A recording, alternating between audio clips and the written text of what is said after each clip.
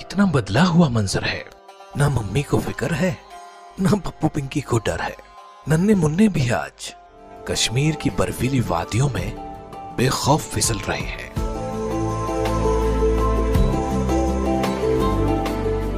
जहाँ गोलियाँ चलती थी, अब बर्फ़ के गोले चल रहे हैं। पप्पू पिंकी ने कश्मीर आकर दुनिया को ये दिखाया है, चले आओ कश्मीर। धरती पर स्वर्ग लौट आया है। जम्मू और कश्मीर में अब न डर है, न 370 है। शुक्रिया मोदी जी।